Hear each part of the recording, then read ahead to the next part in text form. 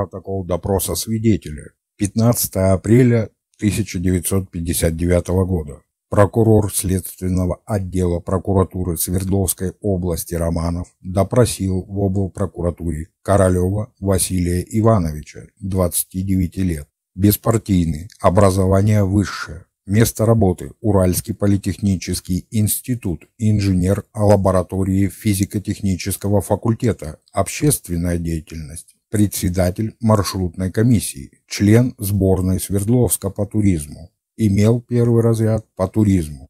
Работая в УПИ, я по общественной линии являюсь председателем маршрутной комиссии при клубе туристов области, а до 1959 года маршрутная комиссия была при городском комитете физкультуры и спорта.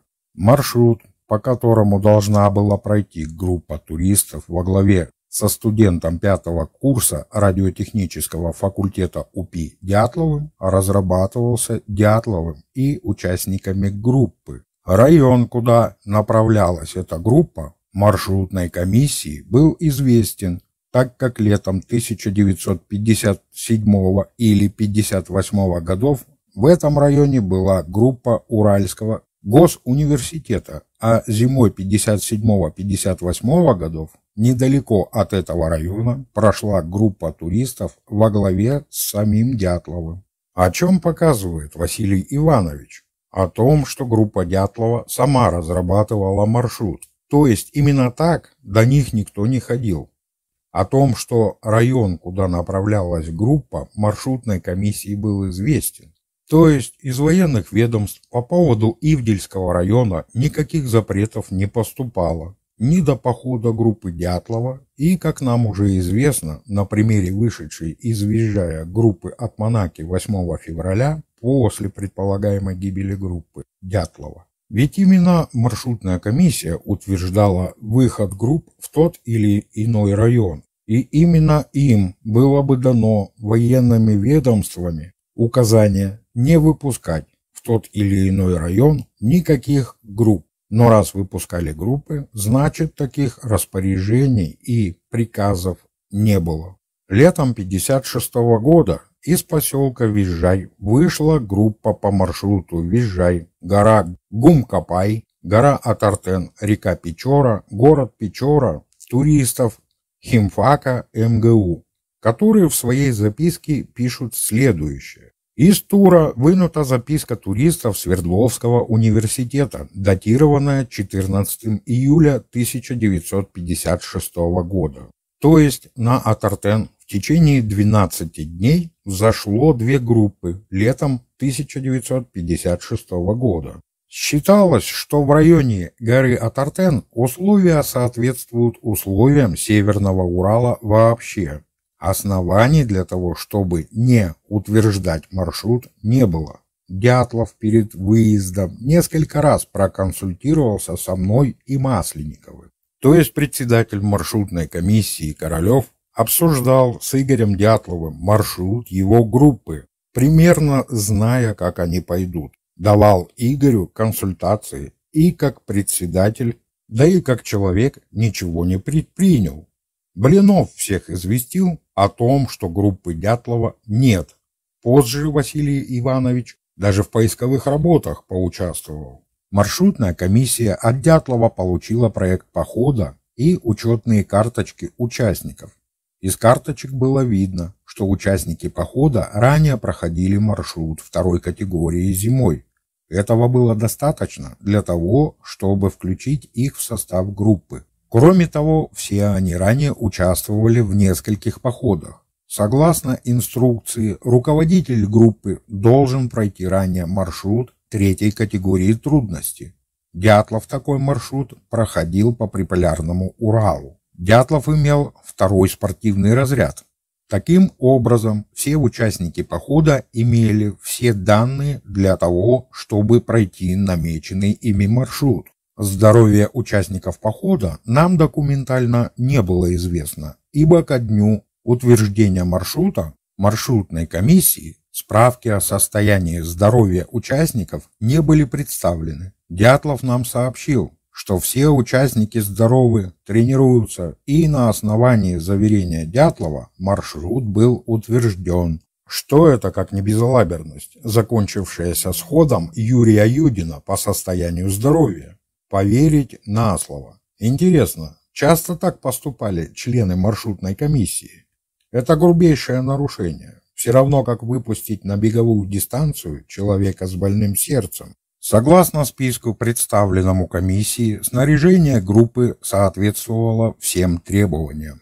После утверждения товарищ Дятлов заполнил три экземпляра протокола, из которых экземпляр он отдал комиссии, второй экземпляр сдал в городской комитет по физкультуре и спорту товарищу Уфимцеву, от которого получил маршрутную книжку, а третий экземпляр протокола и копию маршрутной книжки Дятлов должен был передать в спортивный клуб УПИ, и на основании этих документов он имел право получить снаряжение и деньги.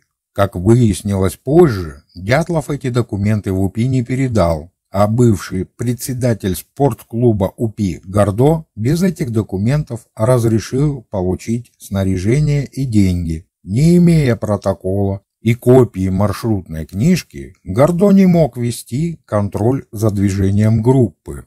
Василий Иванович говорит о трех экземплярах протокола заседания маршрутной комиссии, которые заполнил Игорь Дятлов.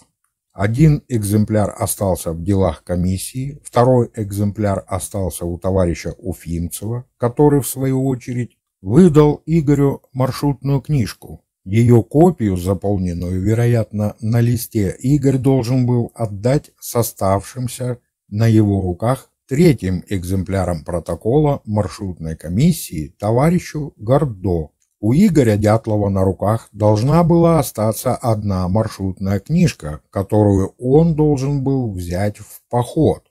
Но, со слов свидетелей, повторю, со слов свидетелей, Игорь не сдал протокол и копию маршрутной книжки товарищу Гордо.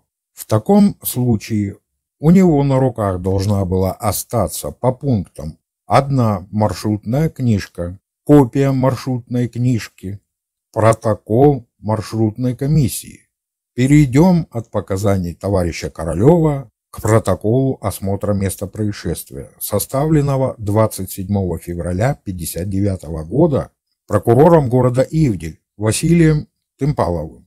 К настоящему протоколу приобщаются документы и ценности, которые были предъявлены участниками поискового отряда и взятые из палатки пропавшей группы Дятлова. Приобщается к протоколу следующее. Пункт 12. Протокол маршрутной комиссии. Пункт 14. Маршрутная книжка номер 5 в количестве трех экземпляров. Каким образом в палатке, которую разорвали поисковики и вынули из нее перечисленные документы и ценности, оказалось три маршрутных книжки номер 5. При сложившихся на момент составления протокола осмотра обстоятельствах на перевале должны были быть одна маршрутная книжка, одна ее копия и якобы несданный протокол маршрутной комиссии, откуда взялись три маршрутных книжки.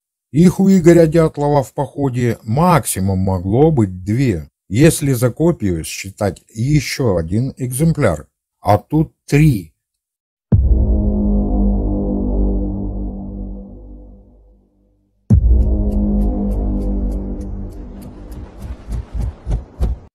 Предлагаю провести одну легкую подчерковедческую экспертизу. Сравним подчерк Игоря Дятлова и подчерк из протокола маршрутной комиссии.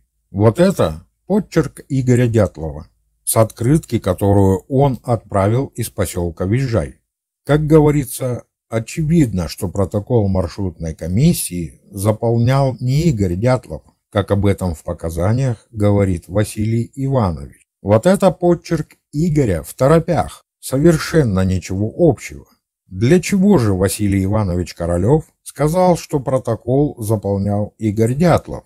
После утверждения маршрута товарищ Дятлов заполнил три экземпляра протокола, из которых экземпляр он отдал комиссии, второй экземпляр сдал в городской комитет по физкультуре и спорту товарищу Уфимцеву, от которого получил маршрутную книжку. Из чего усматривается, что выдачей маршрутных книжек группам туристов заведовал в городе Свердловск товарищ Уфимцев. Кроме него книжки больше никто не выдавал. Получается, товарищ Уфимцев выдал Игорю Дятлова вместо одной книжки три.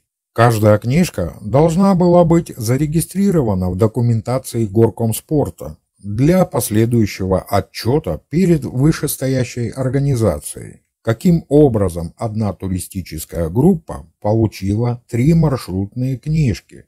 Для чего нужны были туристам маршрутные книжки и протокол маршрутной комиссии? только лишь для того, чтобы контролирующие организации знали маршрут, количество туристов, контрольные сроки, последующее получение разрядов и тому подобное. Не только. Есть кое-что поинтереснее. Третий экземпляр протокола и копию маршрутной книжки Дятлов должен был передать в спортклуб УПИ, и на основании этих документов он имел право получить снаряжение и деньги. Если опустить снаряжение, то, имея маршрутную книжку и протокол маршрутной комиссии, можно было получить на основании этих документов деньги для кого-то эти документы могли быть в буквальном смысле ценными бумагами. Группа Дятлова обошлась бюджету правкома УПИ согласно вот этой записи в 1100 рублей. Это группа из 10 человек, которые выдали в правкоме 1100 рублей. Что об этом показывает Василий Иванович? Как выяснилось позже, Дятлов эти документы в УПИ не передал, а бывший председатель спортклуба УПИ Гордо без этих документов разрешил получить снаряжение и деньги. Со снаряжением понятно, оно было в ведении и под отчетом товарища Гордо, а материальные средства, деньги. Что это значит, разрешил получить в правкоме 1100 рублей? Эти деньги должны были быть выданы по предъявлению копии маршрутной книжки и третьему экземпляру протокола маршрутной комиссии. Получается, в правком УПИ пришел Каливатов и сказал, мы идем в поход. Лев Семенович разрешил вам выдать нам 1100 рублей. Не имея протокола и копии маршрутной книжки, Гордо не мог вести контроль за движением группы. А правком имел право без этих отчетных документов выдать деньги? Нет, конечно, но, как известно, сумму дятловцы получили.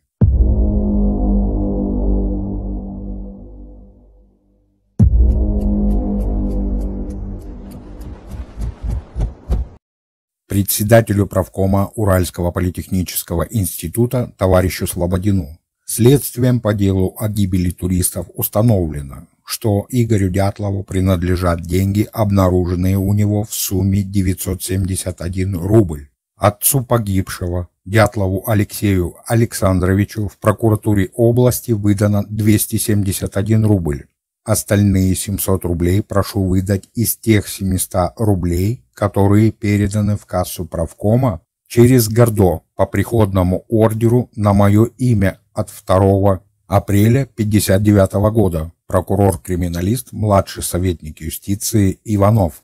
Как видно из письма, в кассе правкома ордера выписывались, и кассовая книга, соответственно, имелась. В расходном ордере должна была быть сделана запись лицом, получавшим средства, в графе «Основания выдачи средств» материальная помощь на проведение похода или в таком случае может быть указана произвольная формулировка. Что об этом в показаниях говорит Гордо Лев Семенович? Правком института по нашему представлению финансирует туристические походы Маршрутная книжка также утверждается маршрутной комиссией и находится у старшего группы. Копии маршрутной книжки оформляются только для отчетов. То есть товарищ Гордо давал представление правкому о выдаче материальной помощи той или иной группе туристов. Правком, в свою очередь, на основании этого документа выделял указанную в нем сумму. То есть, имея на руках пару маршрутных книжек со штемпелем почтового отделения поселка Визжай, либо Визжайского лесничества, к примеру, можно было отправить еще пару групп в путешествие на бумаге, составив при этом представление в правком на выделение материальной помощи этим группам. Маршрутная книжка находится у старшего группы. Не книжки, а книжка. В проекте похода на обороте листа сметы похода Игорь Дятлов вносит два пункта. Первый – лыжи, вероятно, получить или есть еще один вариант, не менее интересный. И пункт 2, выделенный жирной скобкой. Маршрутную книжку. Вероятно, Игорь отметил для себя поход к товарищу Уфимцеву за книжкой, дабы не забыть обменять ее на второй экземпляр протокола маршрутной комиссии. То есть Игорь Дятлов указывает книжку в единственном числе, как и Лев Семенович Гордо, а также председатель маршрутной комиссии Василий Иванович Королев. Исходя из вышеизложенного, возникает вопрос, каким образом в полевой сумке руководителя похода Игоря Дятлова оказалось три маршрутных книжки. Протокол осмотра места происшествия 27 февраля 1959 года. К настоящему протоколу приобщаются документы и ценности. Приобщается к протоколу следующее. Пункт 12. Протокол маршрутной комиссии. Пункт 14. Маршрутная книжка номер 5 в количестве трех экземпляров.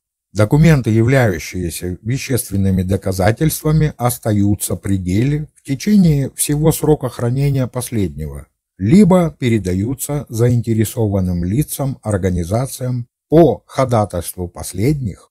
Все, что не затребовано этими лицами и организациями, как то вещи, документы, не представляющие ценности и не могущие быть использованными, подлежат уничтожению. Решение о том принимает следователь либо прокурор, что в случае с группой Дятлова одно лицо. Протокол маршрутной комиссии оставлен в деле на весь срок его хранения. А вот три экземпляра маршрутной книжки отправились в печь. Вероятно, так решили где-то наверху. Лев Никитич Иванов просто выполнил приказ. Проект похода группы Дятлова. Этот проект был разобран по косточкам, винтикам, километрам, ботинкам, пилам, топорам и прочим мелочам. Авторы многочисленных видео и книг перебрали каждую буковку и циферку. Кто-то гневно подумает, что можно еще найти в этом документе. Точно сказать не могу, было ли кем-то из исследователей обнаружено то, что обнаружено мною вернее сказать, не обнаружено в данном документе. Отсутствие одной очень важной части в проекте похода несколько озадачивает. Рассмотрим данный проект не по буквам и цифрам, в общем плане подготавливаемого группой Дятлова походом. Титульный лист проекта имеет указание на выпустившую группу организацию Уральский политехнический институт, краткую информацию о категорийности, о самой группе, датой запланированного похода, резолюции членов маршрутной комиссии, указанием города, в котором был разработан проект похода. На первой странице проекта перечислены цели и задачи похода, описание района похода. На второй странице указаны фамилии предполагаемых участников похода, их количество, год рождения, номера групп, в которых они проходили обучение, количество походов, их категорийность данных участников, расписанные обязанности каждого участника при прохождении планируемого маршрута. На третьей странице расписан сам предполагаемый маршрут по дням пути, участкам пути, предполагаемых способов передвижения по этим участкам и километража. На четвертой странице подробно описано общественное снаряжение, которое предполагалось взять у знакомых туристов, либо получить в турсекции, либо из фонда спортклуба. Пятая страница проекта. Личное снаряжение, то есть вещи и снаряжение, которые были обязаны подготовить перед походом все участники группы. На шестой странице щепетильно перечислен состав ремонтного набора. Плоскогубцы, отвертка, шило, напильник и так далее. А какова причина отсутствия в проекте похода седьмой страницы проекта? За шестой страницей идет страница номер восемь. Интереснее становится, не правда ли, друзья? То есть отсканировали все, а седьмую страницу проекта пропустили. Какова причина отсутствия этой страницы? Смотрим дальше. И не забываем поставить лайк и подписаться на канал. Дальше на канале будут более захватывающие действия. Страница номер 8. Состав аптечки. Довольно подробно описано все, что должно было иметься в аптечке. Количество препаратов и даже их дозировка. Страница 9. Смета расходов. В смете расходов указывается стоимость проезда железнодорожным транспортом, точная сумма, потому как в те времена стоимость билетов редко менялась. Проезд на автомашинах, вероятно, была взята приблизительная сумма. Питание из расчета 16 рублей на участника. Приобретение и прокат снаряжения 200 рублей. Следующий пункт. Контрольные сроки указывает планировавшиеся ребятами сроки прохождения маршрута. Поселок Вижай, Атартен, Молебный камень и обратно в поселок Вижай с замечаниями Евгения Масленникова об отсутствии приходной части в смете и контрольных сроках без запаса дней и немного мистики. Игорь Дятлов, делая расчеты, сделал пометку на 9 человек на девятой странице.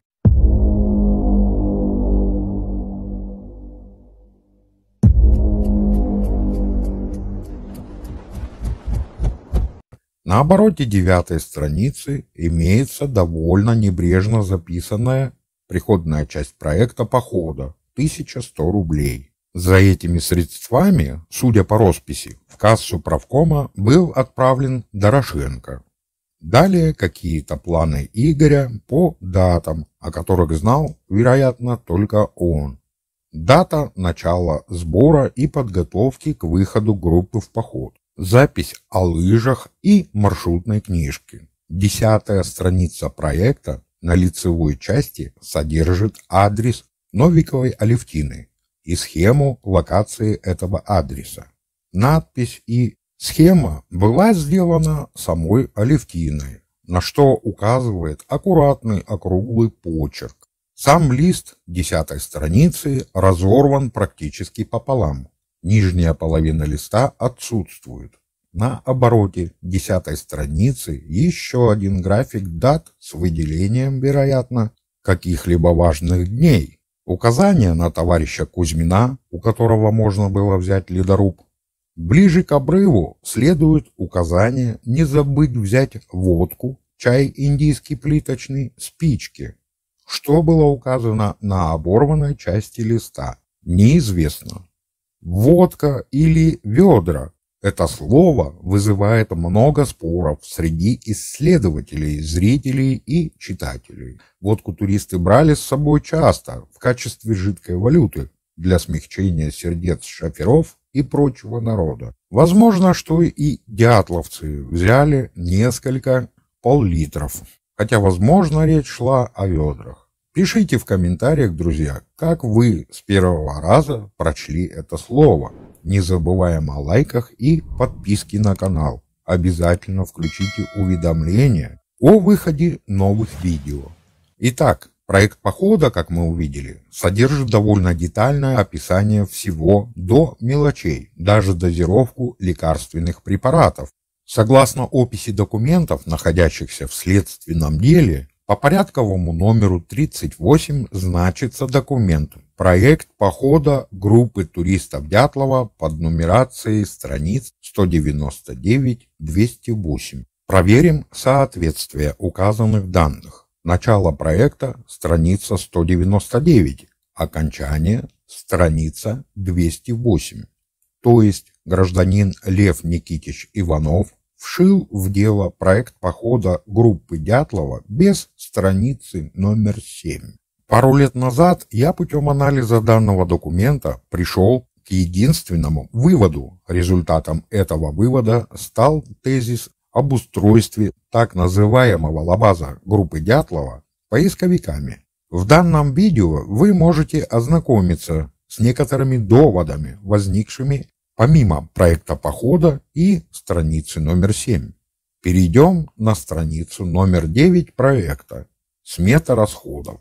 Находим самый главный пункт проекта похода, одного из условий, от которого зависит не только успешное прохождение маршрута, но жизнь и здоровье любой туристической группы. Пункт номер три. Питание из расчета 16 рублей в сутки на участника похода. 16 рублей, умноженные на 20 дней похода, умноженные на 11 участников, равняются 3520 рублей. Исходя из итоговой планируемой суммы затрат 5700 рублей, сумма на питание получается самой большой среди затрат. Питание из расчета 16 рублей в сутки на человека. В ненаселенной местности столовых нет. То есть расчет должен был быть сделан по продуктовой смете, которую составляют перед походом не только группы, но и соло-путешественники. Какие продукты взять в поход, их количество, вес, стоимость, энергетическая ценность суточного рациона на одного человека и, соответственно, по такой смете просчитываются продуктовые запасы на весь маршрут. Расчет 16 рублей на человека Игорь Дятлов вывел на основании их планируемой продовольственной загрузки, расписанной в продовольственной смете, которая и находилась на странице проекта под номером 7. На странице 6 указано количество гвоздей – полкилограмма, шурупов 40 штук, дратва 15 метров – это вощенная нить для прошива обуви. На восьмой странице миллиграммы лекарственных препаратов, а вот количество продуктов питания, их вес и прочее нигде не указано. Нет ни слова. А данный расчет обязательно должен был быть в проекте похода. Соответственно, продовольственной сметы должно было быть приобретено либо получено расчетное количество продуктов питания, сформированного в список. На обум такое не делается. То есть продовольственная смета была убрана из проекта похода. Убрана она была тем, кому она могла помешать. Тому, кто организовал лабаз в 400 метрах от лагеря поисковой партии. Какова же была причина для подобного действия? Причина довольно простая, и ответ лежит на поверхности. Несоответствие наименования продуктов питания в найденном в кавычках лабазе и продуктов, указанных в смете проекта похода. К примеру, в смете проекта похода не была указана корейка. Были указаны продукты, которых не было в лагере поисковиков, и, соответственно, они не могли попасть псевдолабаз. Заметен еще один факт. В протоколе осмотра лабаза указан точный вес продуктов, в отличие от замененного Ивановым оригинала протокола осмотра палатки, составленного Темпаловым от руки, на вот этот печатный экземпляр без единой подписи, в котором указаны продукты. Сухари в двух мешках, сгущенное молоко, сахар, концентраты. Василий Иванович в оригинале указал, как это положено, количество обнаруженных продуктов поштучно, да еще и указал название продукции и завод-изготовитель. То же самое должен был указать в своем протоколе осмотра лабаза и прокурор Иванов. К примеру, молоко сгущенное в банках по 0,5 литра, количество 5 банок, производство Пермского молокозавода. Мясо, говядина, либо свинина, консервы в банках 4 килограмма, банка 500 грамм, 8 банок. Производитель Свердловский мясокомбинат номер один. Не этот фиговый листок с описанием чего-то приблизительного. То есть, если группа Дятлова не планировала брать в поход корейку и не взяла ее, тогда встает ребром вопрос о том, кто ел корейку в палатке. Для следствия это прямо указывало на присутствие посторонних лиц на месте происшествия с девятью мертвыми, что ставило крест на закрытии дела в стадии предварительного расследования. Кого это беспокоило? Только ли прокурора-криминалиста Льва Иванова? Нет, не только. Этого боялось очень много людей. Продолжим анализ протокола осмотра места происшествия, составленного прокурором Василием Ивановичем Тымпаловым в части приобщенных к нему документов и ценностей. Рассмотрим пункт 9 протокола. Записная книжка Слободина, деньги и письмо правкома в горторг-отдел. Что за организация горторг-отдел? О Свердловском горторг-отделе информации я не обнаружил. Видимо, тоже организация засекречена. Для примера приведу сведения Чебаркульского горторга. Город Чебаркуль находится в 70 километрах от Челябинска и в 750 километрах от Свердловска. Так что организация и структура торгов была одинакова. Чебаркульский городской торг. Чебгорторг был основан на базе отдела рабочего снабжения Чебаркульского медзавода и Чебаркульского городского потребительского общества на основании решения Челябинского облсполкома номер 361 от 08.08.57 года и приказа директора Чебуркульского медзавода номер 766 от 27.09.57 года. Чебаркульский горторг был госпредприятием, являвшимся структурным подразделением управления торг Челябинского облсполкома и располагал широкой сетью магазинов продовольственных и непродовольственных товаров. Магазины были специализированы с небольшим процентом реализации сопутствующих товаров. В состав торга входил 51 магазин, фруктохранилище с подъездными путями, овощная база, засолочный цех,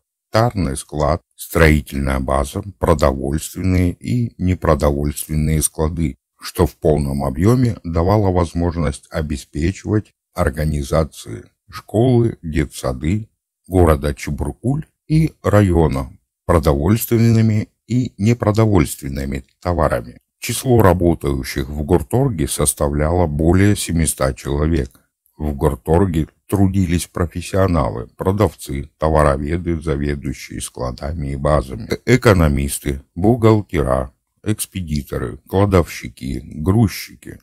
Управленческий персонал состоял из квалифицированных специалистов, имеющих высшее образование в сфере торговли и экономики. И это Чебаркульский горторг-отдел. Какое количество из вышеперечисленного имел Свердловский горторг, если город Свердловск был раз в 10 больше.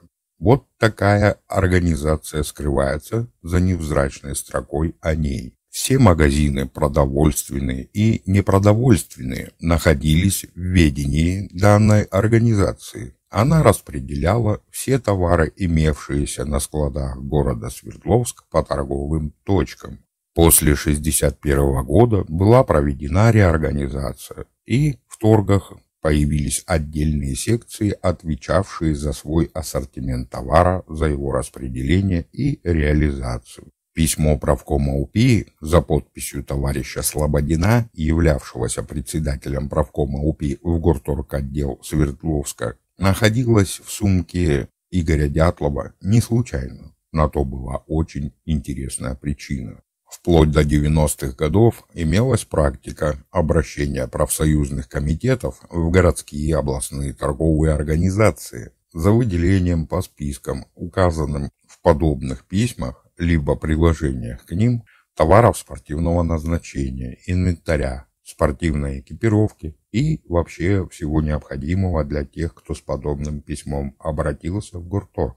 После, поквартально, точный механизм расчета не установлен, правкомы перечисляли за все это деньги на счет Гурторга.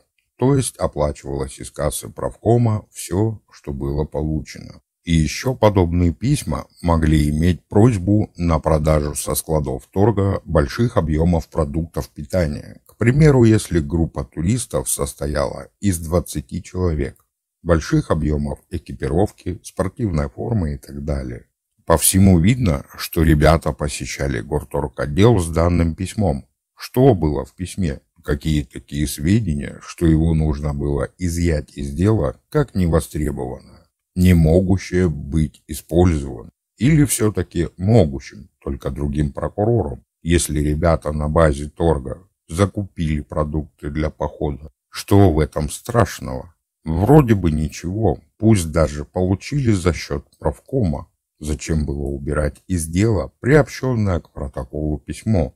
Самая вероятная причина на оборотной стороне письма было перечислено все, что было получено в горторг-отделе. Сверху был поставлен штемпель горторг-отдела с датой и фамилией выдавшего разрешение на получение всего указанного. Никаких ходатайств о выдаче данного документа в деле нет, как и протокола его выемки и изъятия, или даже чего-то подобного вот этой записи.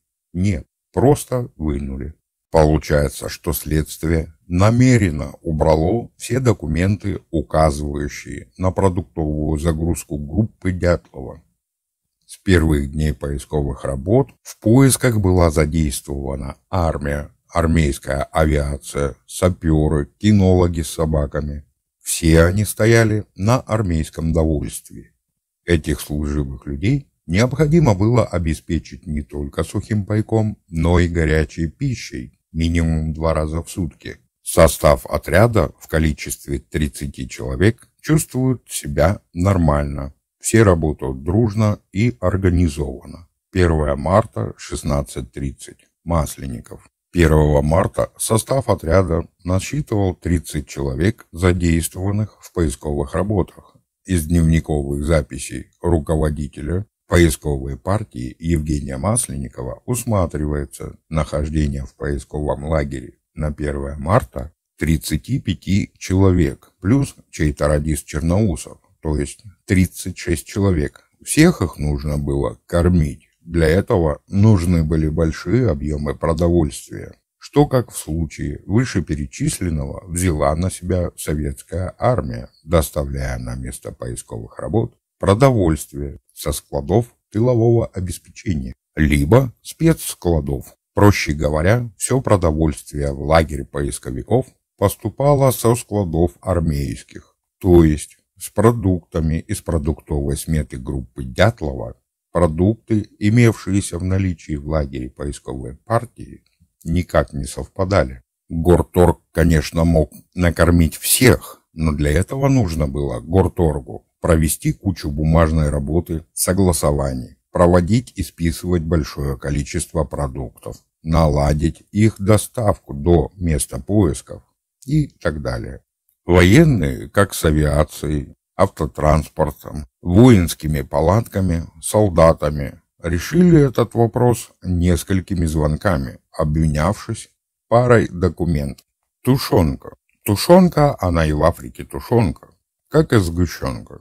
Все так, но есть небольшая загвоздка. Армейская тушенка, сгущенка, томатная паста, каша с мясом и прочие продукты консервации для приготовления в полевых условиях горячей пищи на большое количество человек могли иметь другую упаковку, слегка отличную от продукции, предназначенной для гражданской торговли. На банках не было этикеток, Сами банки были много больше по размеру и весу содержимого. Имели на крышке указание даты выпуска, срока хранения, отметку о том, что продукт предназначен для спецрезерва. Вся информация о продукте была указана на общей таре, коробке. Вот эти коробки в лагере поисковой партии с большими банками сверху, на которых отсутствуют этикетки, а на одной из коробок видны надписи. Надписи рассмотреть нет возможности ввиду плохого качества снимка. Нахождение коробок с банками у входа в палатку поисковиков говорит о том, что продукт подготовлен к употреблению. Каша с мясом или тушенка понять невозможно. Судя по размеру банки, ее нетто могло равняться от 800 до 1000 грамм. И если на снимке тушенка, то становится понятно, почему прокурор Иванов не указал в протоколе осмотра своего лабаза количество банок, их вес и производителя. Со сгущенным молоком то же самое. Прокурор Темпалов даже в своем допросе сказал о банках сгущенного молока, лежавших в палатке, а тут в протоколе указано 2,5 килограмма. Поскольку продукты не представляют интереса для расследования, они переданы начальнику партии товарищу Масленникову как аварийный запас. Вся тара из-под продуктов, а также мандолина, две пары ботинок, носки и крепления изъяты. В протоколе нет описи изъятой тары. Что изъято? Мешки, банки, обертка колбасная, обертка плитки чая индийского. Какая тара изъята? В каком количестве?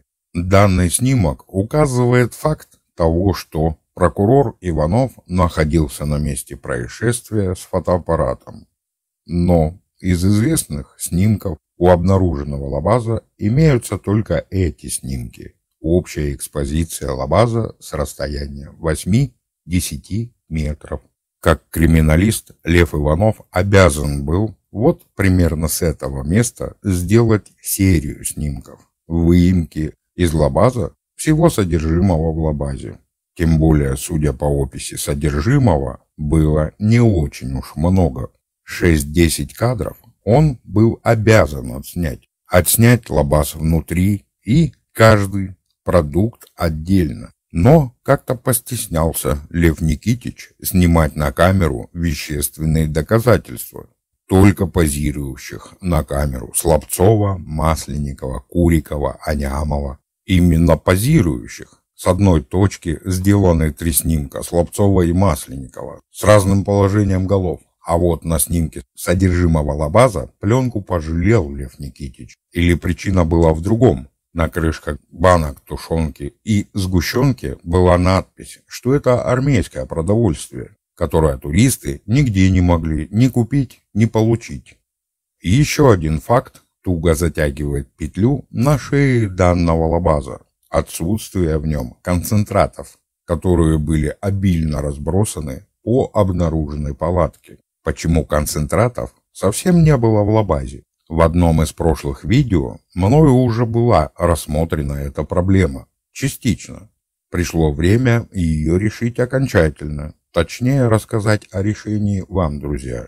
Из показаний Василия Ивановича Темпалова, прокурора города Ивдель, в палатке было найдено много сухарей, полмешка сахара, большое количество концентратов, каши, супов и так далее. То есть группа Дятлова отправилась в радиальный максимум двухдневный выход Ауспия от Артен Ауспия без дров и воды, но взяв с собой запас концентратов, который имела на весь поход.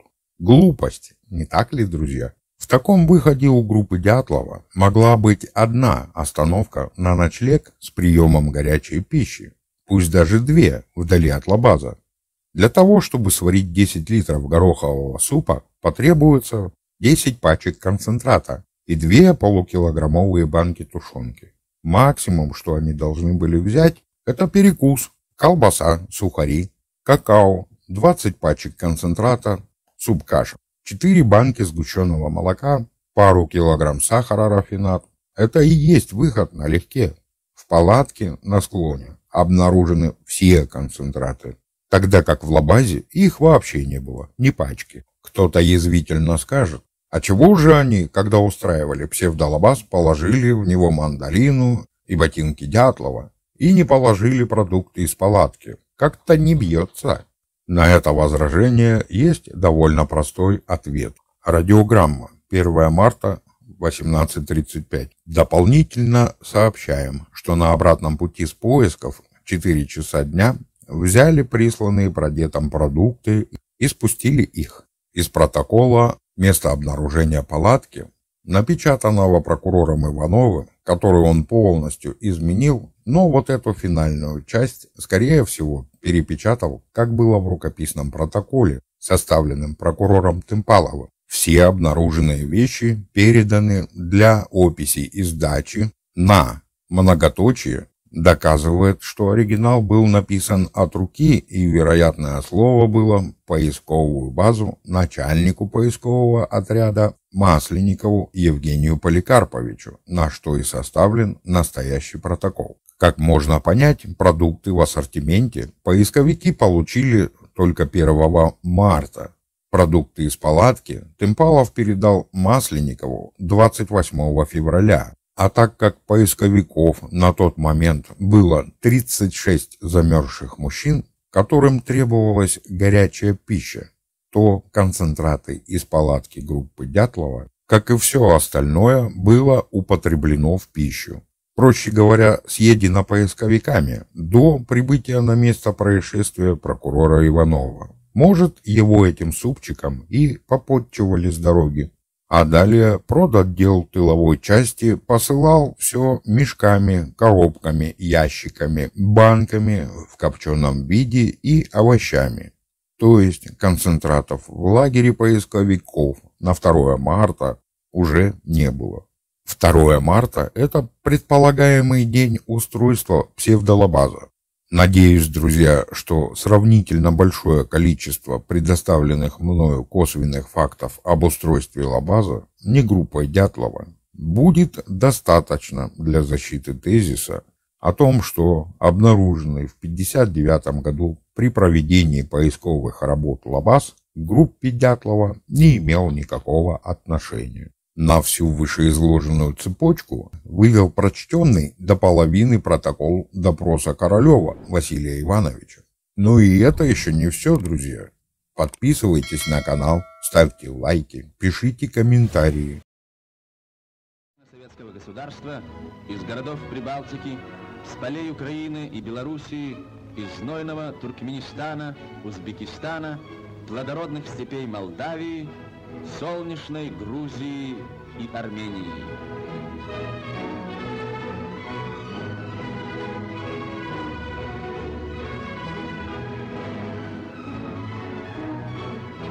Тысячи москвичей направляются к своим местам на трибунах.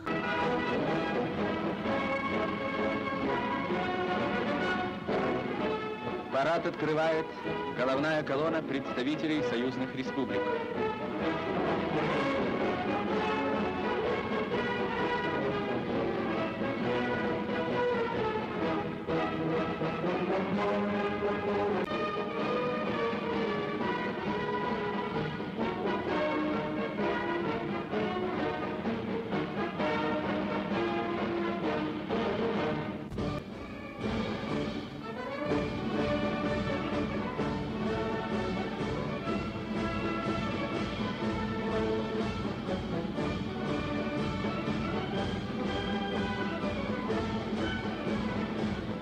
Ленинградской Ордена Ленина и Ордена Красного Знамени Институт физической культуры имени Лесгафта.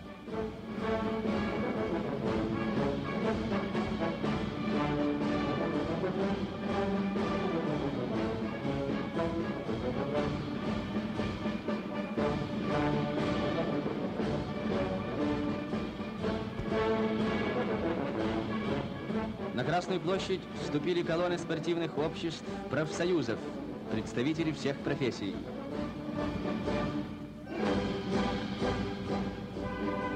Шли те, кто вооружал, кормил, одевал и снабжал всем необходимым Красную Армию.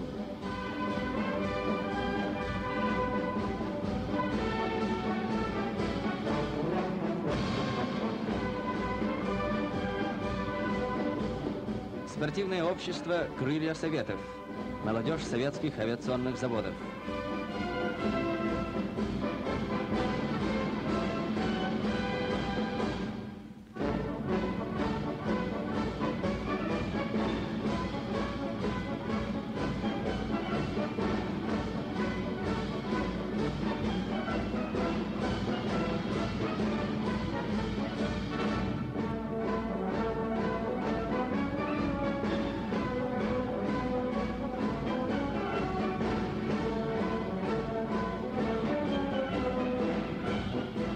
Рядах общества «Крылья Советов» мировой рекордсмен по поднятию тяжестей Григорий Новак и мировая рекордсменка в беге на средней дистанции Евдокия Васильева.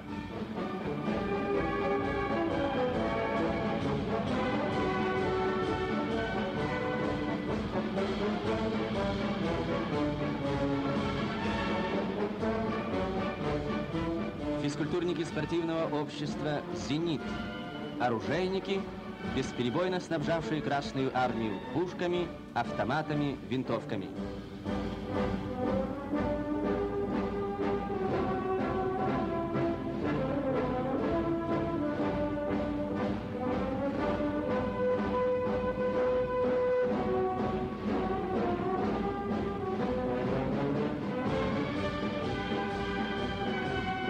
Спортсмены общества «Медик».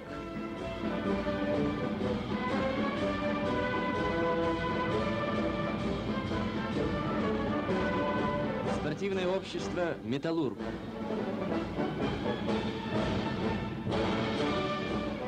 Спортивное общество «Строитель». В рядах общества мировой рекордсмен по поднятию тяжестей Косарев и один из лучших боксеров страны Огуренков.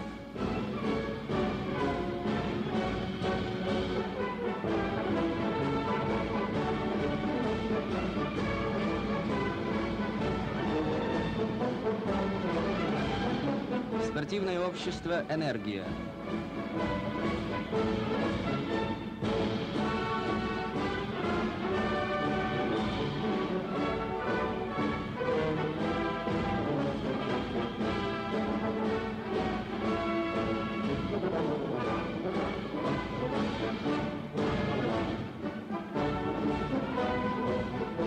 Спортивное общество «Большевик».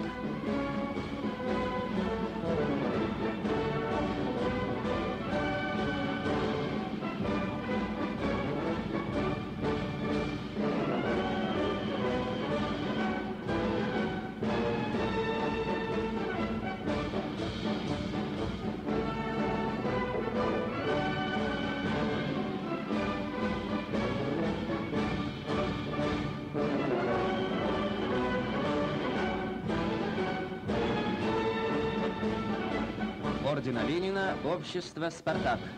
Высокую правительственную награду получило это общество за массовую физкультурную и спортивную работу.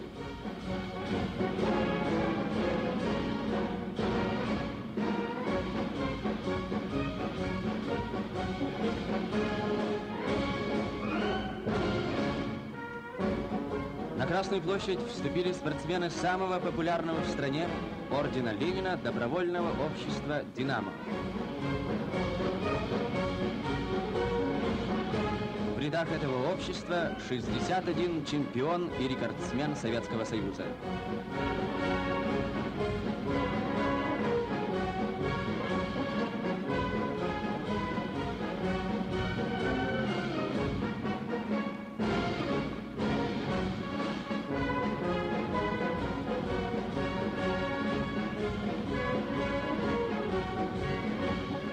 Торжественный марш физкультурников замыкает колонна велосипедистов.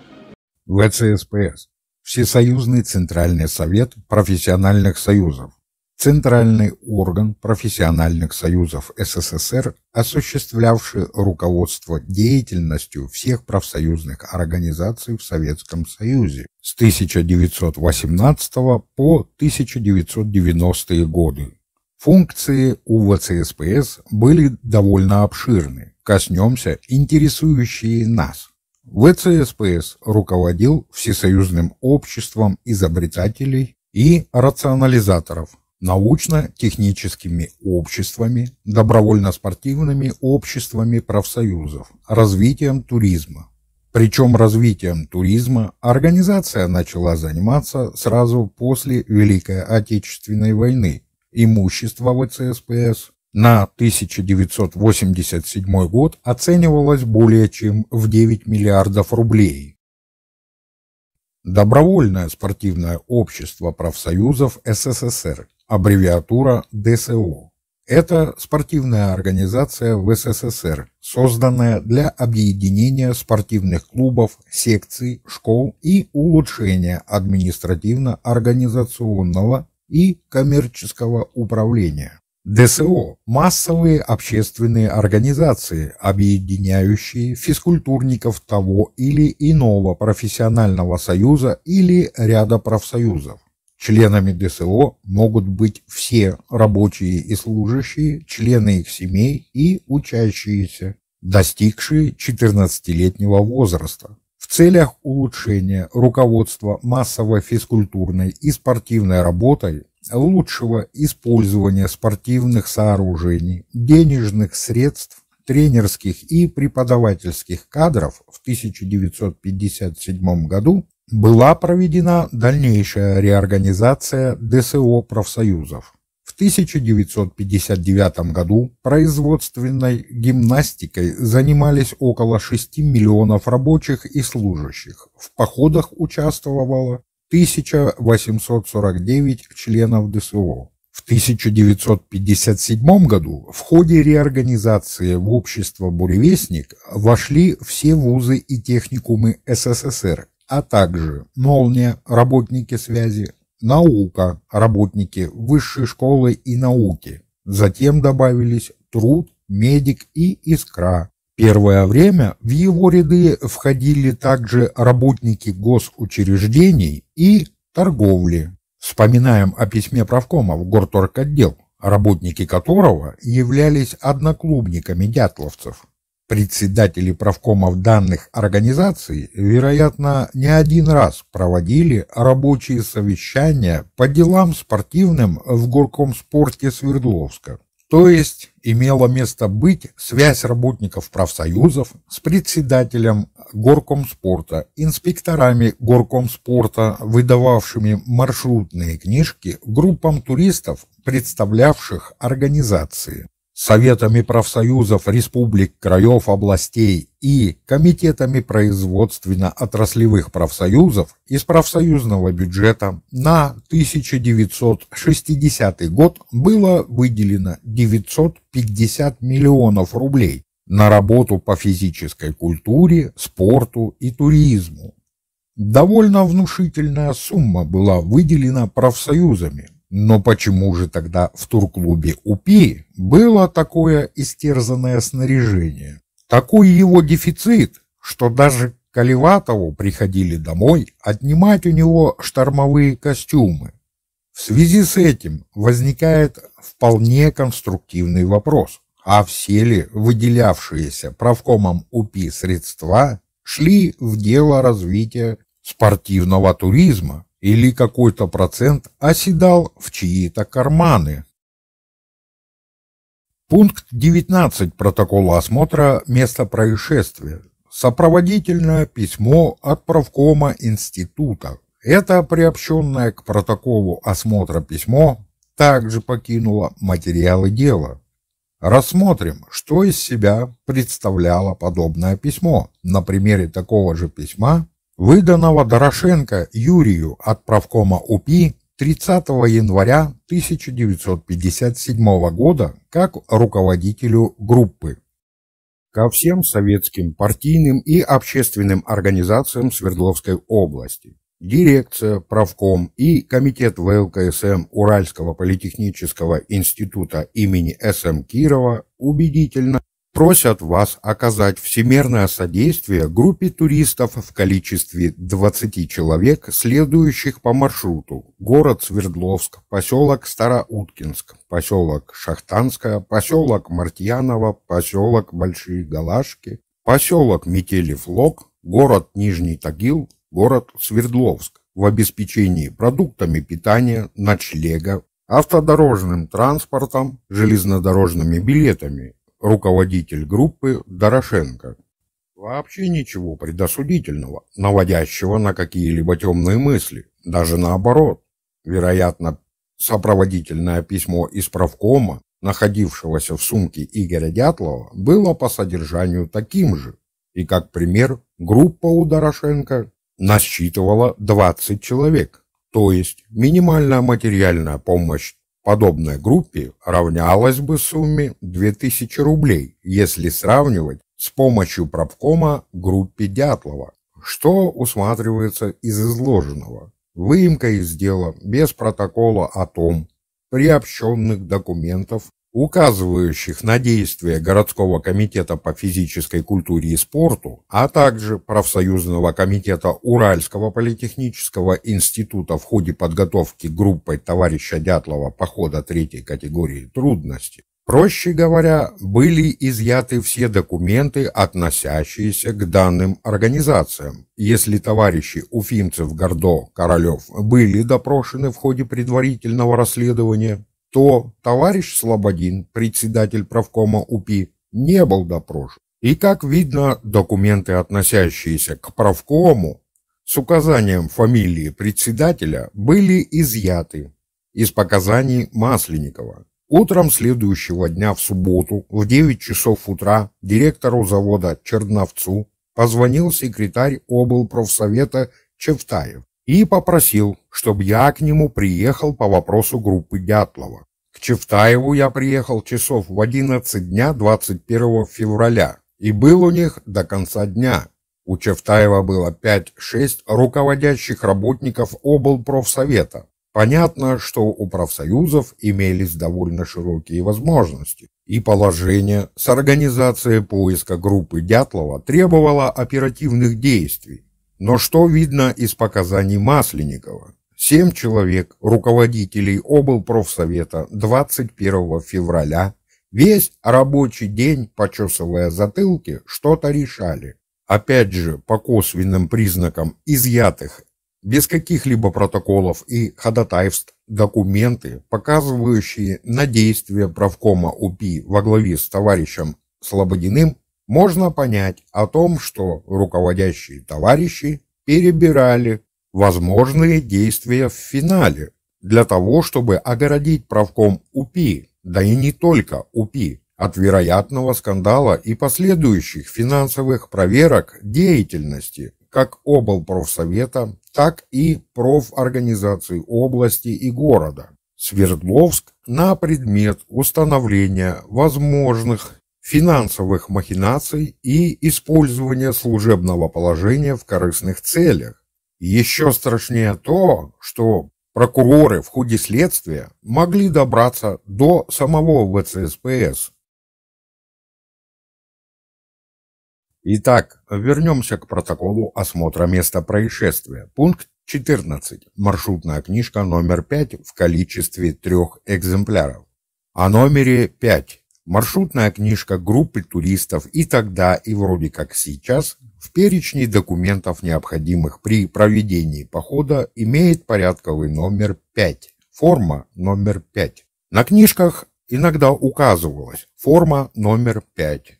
Если на книжках из сумки Игоря Дятлова было указано именно так, то прокурор Тымпалов все три книжки наименовал в протоколе номером 5. Все показания товарищей пестрят фразой о том, что дятловцы должны были отправить телеграммы в адрес контролирующих организаций. 26 января Игорь Дятлов и Рустем Слободин, находясь в почтовом отделении поселка Бежай, отправляют открытки домой, а в контролирующие организации ни телеграмм, ни открыток, ни писем не отправляют. И работники прокуратуры никому не задают вопрос о телеграмме от группы Дятлова. Прислали, не прислали, где эта телеграмма? Ее должны были истребовать и приобщить к протоколу допрошенного, который бы ее предоставил. Гордо, например. Ребята ему в первую очередь должны были послать телеграмму. Но этот вопрос мягко обойден. Даже если в Визжае были проблемы с телеграфом, ребята выслали бы открытки с указанием на то, что нет телеграфа, сообщаем открыткой. Вышли 26 января группа Дятлова. Но ничего подобного нет. В чем же причина такого безответственного поведения? Причина проста. Игорь Дятлов по чьей-то просьбе проставил во всех трех книжках штемпель Визжайского почтового отделения как доказательство того, что они были в Визжае. И две пустые книжки тоже были в Визжае. Есть еще одна причина. Телеграмму Гордо либо открытку ребята отправили вместе с открытками для домашних. Только текст этой телеграммы товарищ Гордо не хотел никому показывать. А мог он выглядеть так.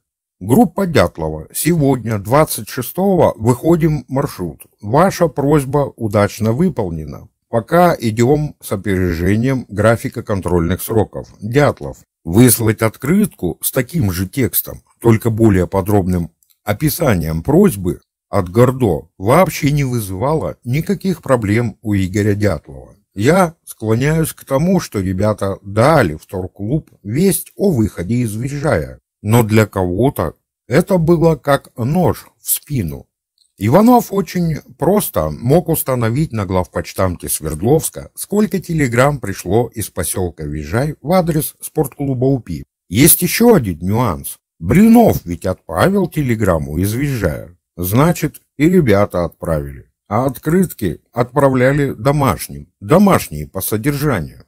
Так что телеграмма от Дятлова была. Гордо ее утаил, а Лев Никитич Иванов мог спокойно на телеграфе даже копию текста получить. И в Визжайском телеграфе была оставлена квитанция и текст самой телеграммы, по которому телеграфист его набирал или набирала. Оплата телеграмм рассчитывается по количеству указанных в ней слов. Думаю, Лев Никитич прочел текст от ребят. Не настолько он был глуп. Выяснил он все нюансы, но получил приказ закрыть глаза. Надеюсь, что так и было. Рассмотрим несколько вариантов использования данных пустых книжек. После того, как группа Дятлова вернулась бы в Свердловск, Игорь передал бы эти книжки тому, кто просил его проставить штемпели, визжая. После этому человеку, либо группе лиц, оставалось вписать фамилии, провести это все через МКК, маршрутную комиссию, и вуаля, маршрут разработан, пройден и закреплен за группой Дятлова. А следом по этому маршруту, на бумаге, конечно, прошли еще две группы. Статистика на местах растет, работа ведется лихо, привлекается много людей к занятиям туризмом, выделяемые денежные средства осваиваются. Спортивные чиновники получают премии, грамоты, поощрения, имеют впоследствии, благодаря таким успешным показателям, рост по карьерной лестнице. Как это могло быть? К примеру, уфимцев или Гордо попросили Игоря проделать подобное якобы с тем, чтобы увеличить показатели общей спортивной работы. Тогда и на туризм верха будут выделять больше средств. Появится возможность для обновления экипировки, пополнить арсенал снаряжения в клубах, в конце концов, и так далее. Игорь, как болевший за туризм человек, мог согласиться на такую просьбу, ведь это могло помочь не только ему, но и десяткам таких же ребят, как он, увлеченных любимым видом спорта. Вероятно, ему было плевать на чей-то карьерный рост. Возможно, он об этом даже и не думал. Но есть еще один вариант использования подобных книжек, плюс к первому варианту. Книжки по прибытию заполнялись, указывалась группа из 20 человек, на которую правком УПИ по представлению товарища Гордо выделял средства, как пример с группой Дятлова, по 100 рублей на человека, то есть минимум 2000 рублей из кассы правкома выходило по одной маршрутной книжке и протоколу МКК. Две книжки – это 4000 рублей. Этакое хозяйство Павла Чичикова. Вероятно, не совсем мертвые души, наполовину. Кому-то хотелось пойти в поход, а кому-то получить освобождение от занятий или работы по письму или телеграмме тех же товарищей Гордо, Курочкина. Отдохнуть 24 дня, пусть без сохранения заработной платы, но с сохранением очередного оплачиваемого отпуска. Возможно, слегка доплатив, можно было, никуда не ходя, получить разряд. Не забываем о письме правкома УПИ в горторг отдел, по которому группа Дятлова что-то получала. То есть имелась возможность у правкома УПИ через представителя бумажной группы получить на складах горторга продукты, экипировку, да все что угодно. Экипировка и снаряжение полученная подобным способом, вставала на баланс спортклуба УПИ и могла быть монетизирована при помощи сдачи в прокат не только членам турсекции УПИ, но и другим организациям по просьбе и обращению таковых. Пункт 4 сметы расходов как раз об этом и свидетельствует. Приобретение и прокат снаряжения – 200 рублей. Турклубы и секции практиковали прокат снаряжения. Кто заведовал прокатом в турклубе УПИ, думаю, понятно. То есть ребята не только получили экипировку и снаряжение как члены клуба, но и планировали что-то взять в клубе на прокат. Членов МКК маршрутной комиссии могли использовать в темных данных схемах, а возможно и нет. После всего проделанного составлялись ревизские сказки, по бумагам все сходилось при любой проверке. Кто бы из проверяющих бумаги стал бы проверять наличие туристов из маршрутных книжек или маршрутных листов? Как видно из маршрутного листа группы Дятлова, не являвшихся студентами УПИ членов группы провели и выпустили, а правком УПИ выделил на всех нестудентов по 100 рублей. Кроме того, по письму правкома на нестудентов было отпущено со складов горторга провизия. В общем, схема была возможна. Выгода от данной схемы довольно крупна. Денежные средства, полученные в результате совершения подобного преступления, имеют особо крупные размеры. Соблазн очень заманчив.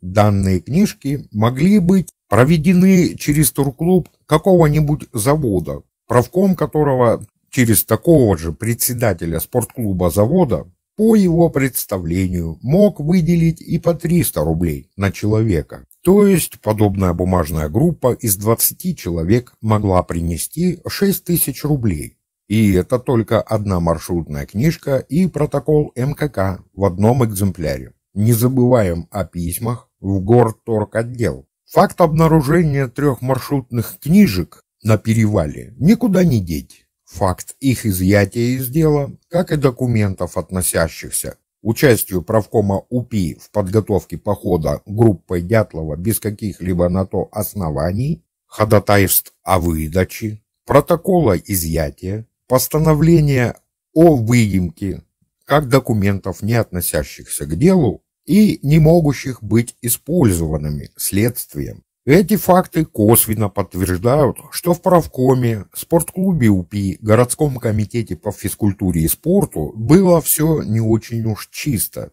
Есть ощущение того, что родные ребят неспроста обвиняли Курочкина, Уфимцева и Гордо. Как говорится, дыма без огня не бывает. Возможно, ребята с родными делились своими мыслями, фактами из нелегкой туристской жизни. Вот такое секретное задание имела группа Дятлова. Проставить отметки в пустых маршрутных книжках в почтовом отделении поселка Визжай. Все изъятые документы должны были лечь в основу прокурорской проверки финансовой деятельности профсоюзного комитета УПИ тщательной проверки финансовой и прочей деятельности спортклуба УПИ и секции туризма под руководством председателя клуба Гордо, деятельность МКК маршрутно-квалификационной комиссии, деятельность самого городского комитета по физической культуре и спорту. Если я разглядел возможные схемы использования перечисленными лицами служебного положения в корыстных целях, Думаю, Лев Никитич Иванов тоже их заметил. Под данное определение также попадает использование этих книжек не только для материального обогащения, но и искусственного завышения статистических данных. В подобных случаях государство выделяет больше материальных средств на будущий год, а их необходимо списывать, тратить. Позвольте, а как можно потратить такие средства, когда у вас по бумагам спортивных туристов на 20% больше, чем есть на самом деле. Нелегко, приходилось импровизировать. Кому из тех семи руководителей облпрофсовета в кабинете Чертаева нужны были подобные проверки? Конечно, никому. Все сказанное в данном видео – это мое сугубо личное мнение. Пишите свое отношение к услышанному моему личному мнению в комментариях. Миллиардные хищения выявили в скандальной программе детских кружков «Артспорт». По информации Генпрокуратуры, коррупционеры на местах действовали по изощренной схеме.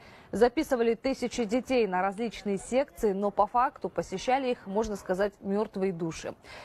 В Генеральной прокуратуре заявили, что проверять то, как и на какие цели расходуются средства «Артспорт» будут еще жестче.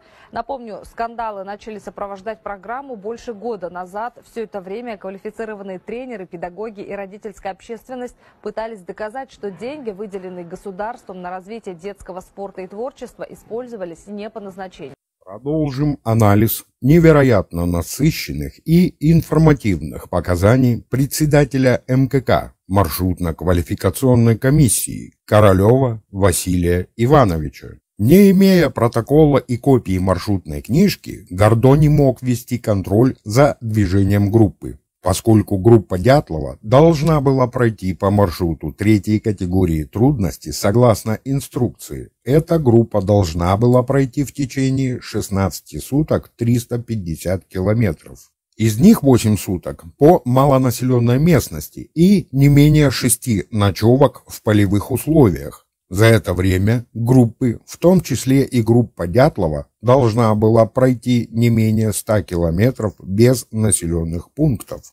Поскольку в пути группы населенных пунктов нет, группа должна была дать телеграммы в городской комитет по физкультуре и спорту, товарищу Уфимцеву и в спортклуб УПИ товарищу Гордо, только о выбытии из начального и конечного пунктов маршрута.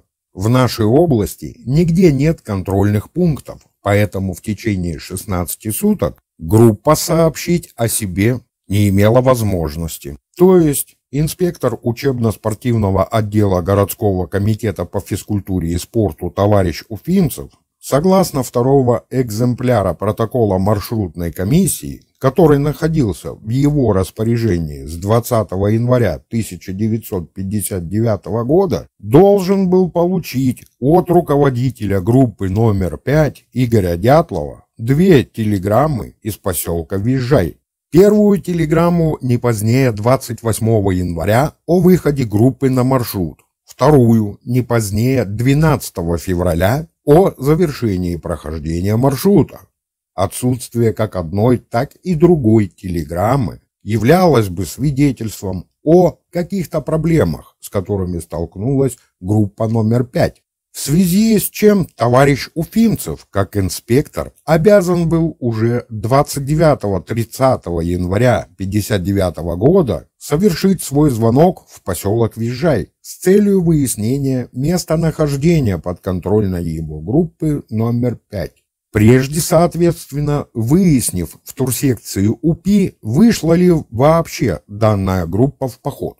Проще говоря, Товарищ Уфимцев обязан был начать поиск группы Дятлова уже в пятницу, 30 января. Что об этом показал сам товарищ Уфимцев? Контрольный срок был установлен группе 12 февраля, когда она должна была подать телеграмму из Визжая после возвращения с маршрута. То есть товарищ Уфимцев нагло убирает в своих показаниях информацию о первой телеграмме, о выходе группы на маршрут. Исследователь Романов делает вид, что так и нужно, не задает вопрос о первой телеграмме. Больше группа не могла ниоткуда подать известия о себе из-за отсутствия населенных пунктов на пути маршрута. И только через 12 дней после выхода мы могли знать о ее благополучии. Следователь Романов обязан был задать вопрос в конце допроса, который должен был иметь подобную формулировку. Была ли группой товарища Дятлова подана телеграмма о ее выходе на маршрут из поселка Визжай? Если да, то где она? Если нет, то почему вами, как контролирующим лицом, не были предприняты меры по установлению местонахождения группы в период с 28 по 30 января? Ведь вы не получили подтверждение о выходе группы на маршрут. Но такой вопрос не задается задаются следующие вопросы. Вопрос. Кто конкретно из городского комитета по физкультуре и спорту должен был наблюдать за движением маршрута группы Дятлова? Ответ. За движением туристической группы Дятлова непосредственно контроль согласно инструкции должен был нести спортивный клуб УПИ. Но в то же время и городской комитет должен был вести контроль за движением туристических групп согласно телеграммам. Конкретно это возложено на меня. Товарищ Уфимцев автоматически упоминает о телеграммах при контроле за движением групп. Проговаривается. Волновался, вероятно, слегка. Розыски группы товарища Дятлова были начаты в течение суток после получения сообщения о том, что группа не возвратилась в намеченный пункт. Согласно маршруту, эта группа туристов 12 февраля 1959 года должна была вернуться в поселок Визжай. Но работник лагеря товарищ Хакимов нам по телефону сообщил, что туристы при отъезде обещали вернуться только 15 февраля 1959 года. Почему с 12 февраля сего года не были приняты меры к розыску потерявшихся туристов, я не могу сказать. В этом повинны как спортклуб УПИ, так и комитет по физкультуре и спорту.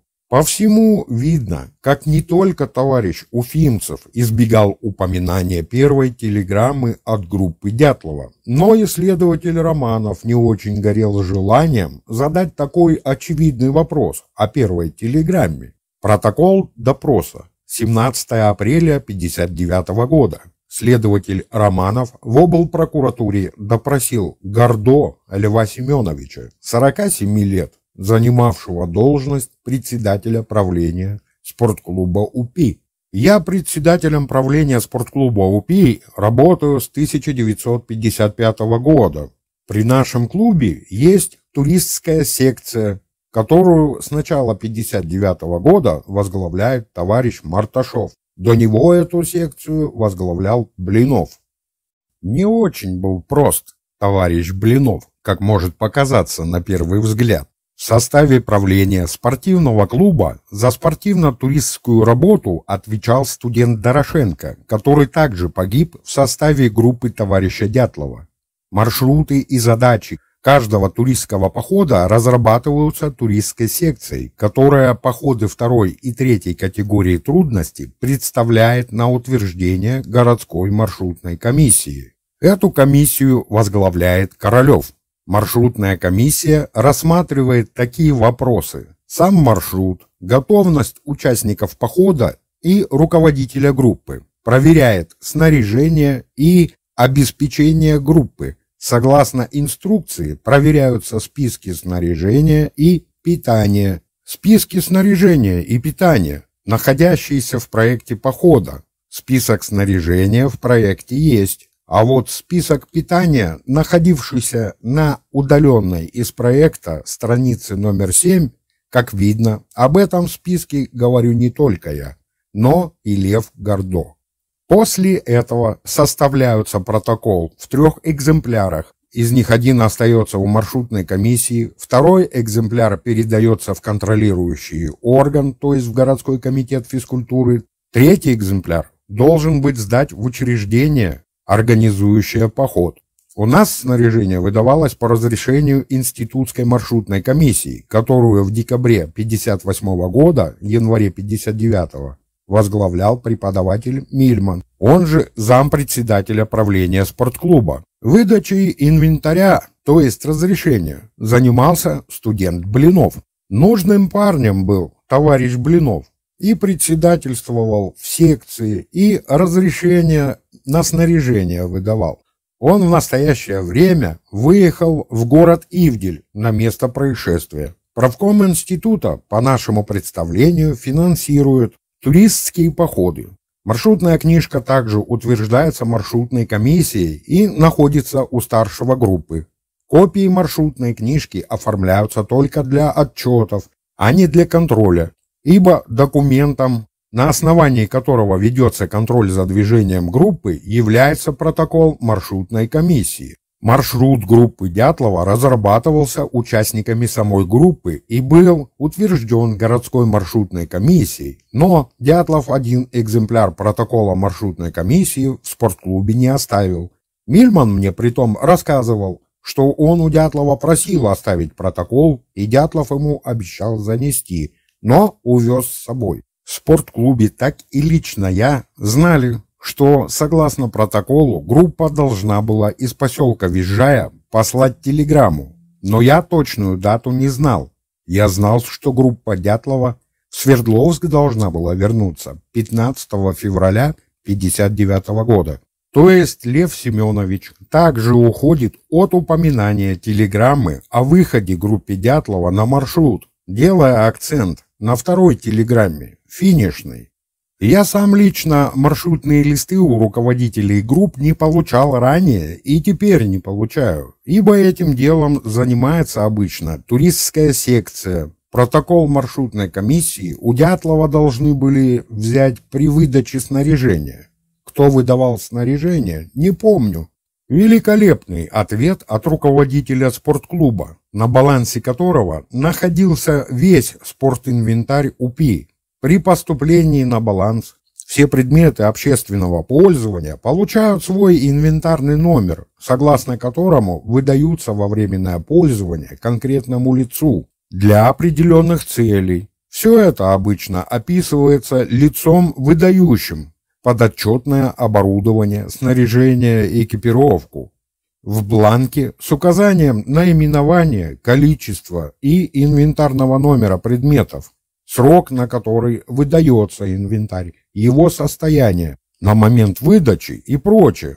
Все это подкрепляется подписями лица, выдавшего и принявшего общественное снаряжение. Поверх подписей ставится печать организации. Проанализировав все описи снаряжения группы Дятлова, обнаруженного на месте происшествия, можно понять, что ни один предмет не имел инвентарного номера, Никакого либо указания на принадлежность снаряжения турклубу УПИ, спортклубу УПИ. Ничего. По каким критериям выдавалось, опознавалось выданное снаряжение? Или лыжи выдавались и хранились как дрова, вязанками?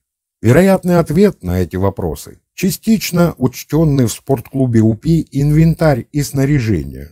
То есть его было в клубе в несколько раз больше, чем было инвентаризовано. То есть неинвентаризованное сдавалось в прокат через нужного студента Блинова, например.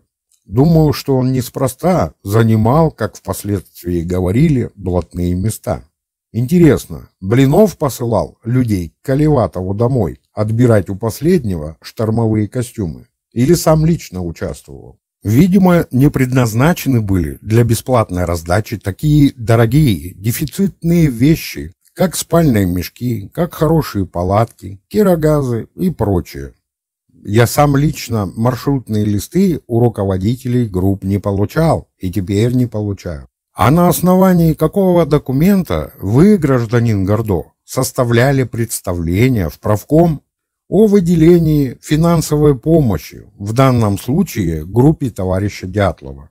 Подобный вопрос ставил точку на показаниях Льва Семеновича и на дальнейшей его судьбе, как и судьбе председателя правкома УПИ.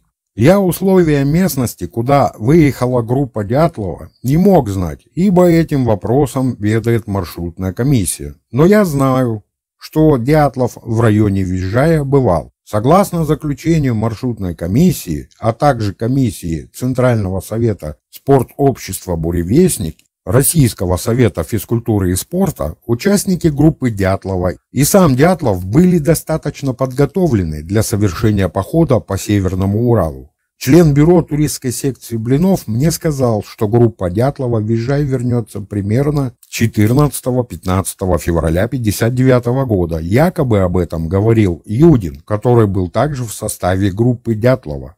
Но ввиду болезни в пути вернулся. Поэтому спортклуб причиной невозвращения туристов группы Дятлова начал интересоваться только после 15 февраля 1959 года. На поиски группы Дятлова людей отправили только 20 февраля 1959 года. Я тоже выехал в Ивдель 20 февраля 1959 года. Сразу 16 февраля сего года людей не отправили, потому что устанавливали по телефону с Визжаем. Связались только в ночь на 17 февраля. Потом, 17 февраля сего года, я звонил в Центральный совет общества «Буревестник» и просил добиться разрешения на использование самолета, но мне в этом отказали.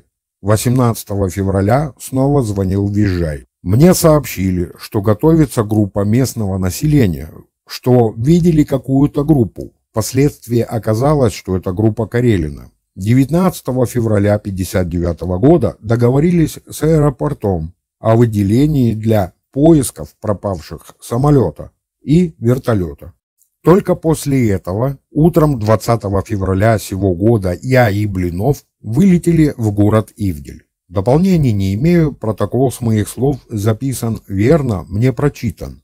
Допрос прерван в 15.00. Слишком много в данном деле занимает очень шустрый студент Блинов. Допрос Льва Семеновича прерывается в 15.00 в середине рабочего дня и более не возобновляется. Вероятно, чья-то большая рука подала знак, чтобы товарищ Гордо не наговорил чего лишнего со страху из показаний Уфимцева. 16 февраля в комитет позвонил по телефону товарищ Блинов и спросил, нет ли каких известий о группе. Вездесущий Блинов, много знавший о последних днях жизни группы Дятлова, много знавший о самих ребятах, выдавший им разрешение на получение снаряжения, в материалах дела никак не фигурирует. Странно. Из показаний Королева Василия Ивановича. Рации туристическим группам не выдаются, и это не предусмотрено вообще. Также и физически группы не могут иметь рации, ибо рация радиусом действия не менее 150 км весит не менее 32 кг. Кроме того, иметь коротковолновые рации не разрешается. Если и была бы рация, то нужно устанавливать дежурство для приема передач, что также никакими штатными расписаниями не предусмотрено. Таким образом, подготовка снаряжения и организация похода соответствовали требованиям для того, чтобы нормально прошел поход. Чтобы нормально прошел поход. Подводя итог проделанного анализа показаний Королева Василия Ивановича, выведшего на массу косвенных фактов возможного использования работниками городского комитета по физкультуре и спорту города Свердловск, работниками правкома УПИ, работниками спортклуба УПИ, служебного положения в корыстных целях, три маршрутные книжки, обнаруженные у руководителя одной группы, явно об этом свидетельствовали. Из всего можно понять то, что трагические события произошедшие с группой Дятлова, неожиданно оголили темную сторону спортивного туризма в городе Свердловск, возможные схемы теневого заработка спортивных чиновников. Группа Дятлова была в данных схемах только одной ниточкой огромного коррупционного ковра. Подобные схемы и люди, задействованные в них, обычно делятся доходами с теми, кто все это защищает и позволяют свободно действовать, не опасаясь неожиданных проверок. Все, что выделялось в уголовном деле о гибели группы товарища Дятлова, должно было послужить организации немедленной проверки работниками прокуратуры. Любой судья, дойди дело до суда, мог задать очень неудобные вопросы касаемо обнаруженного общественного снаряжения непосредственно прокурору Иванову. По каким признакам вы идентифицировали обнаруженное на склоне высоты 1079 общественное снаряжение как принадлежащее спортклубу УПИ, его турсекции, по какой причине материалы, представленные суду, не имеют описи выданного снаряжения, его номеров хранения, протокола опознания снаряжения лицом его выдававшего, ходатайство от спортклуба УПИ о выдаче следствием всего обнаруженного снаряжения спортклубу. На подобные вопросы у Иванова ответ мог быть один. Ему пришлось бы дать показания в суде об отсутствии должного учета в спортклубе УПИ. Судья по данным фактам вправе был назначить доследование и вывернуть всю темную бухгалтерию только по одному эпизоду. Представить нетрудно масштабы последующих проверок, скандалов, отстранений и посадок не только высоких должностных товарищей из городских комитетов, но и всесоюзного масштаба. Подобное злодеяние, подкрепленное девятью замерзшими студентами, вызвало бы в обществе не просто негодование. Общество потребовало бы принятия жесточайших мер к виновникам и их покровителям. Вероятно, Никита Сергеевич не стал бы церемониться с подобным безобразием. Прятали свои карманы высокопоставленные товарищи. Берегли самое ценное, что было в их жизни – должности. Потому и было принято решение любой ценой делать из этой трагедии несчастный случай. Тем более, что к 5 марта оба прокурора, Темпалов и Иванов, высокой комиссии, заседавшей в городе Ивдель в формате штаба поиска пропавшей группы Дятлова, заявили о том, что они не смогут найти ничего другого, как несчастный случай в данном происшествии. А если что-то и обнаружится, то найти прямых виновников не получится по причине того, что они выиграли себе достаточно времени для сокрытия улик и для того, чтобы покинуть Свердловскую область. Вот и приняли сообща решение о том. еще на верхах решили не выносить ссор из избы и замять все дело в кругу города Свердловск, даже не области, о чем ярко свидетельствует постановление о прекращении уголовного дела в его резолютивной части. За недостатки в организации туристской работы и слабый контроль Бюро Свердловского городского комитета Коммунистической партии Советского Союза наказало в партийном порядке, вероятно, вынесли выговора, директора Уральского политехнического института Сиунова, секретаря партбюро Заостровских, председателя правкома УПИ Слободина. Вот за что было наказывать товарища Слободина? Ведь он все сделал для благополучного похода группы Дятлова. Выдал сопроводительное письмо, письмо в горторготдел Свердловска на получение каких-то товаров, выделил материальную помощь и в итоге получил наказание председателя городского совета добровольных спортивных обществ Курочкина и инспектора Союза Уфимцева. Председатель правления спортклуба Института Гордо с работы снят. То есть ни один чиновник областного масштаба не пострадал. Кроме Льва Гордо, все остались в прежнем режиме работы. Да и по некоторым слухам Гордо никуда из обоймы не выпал.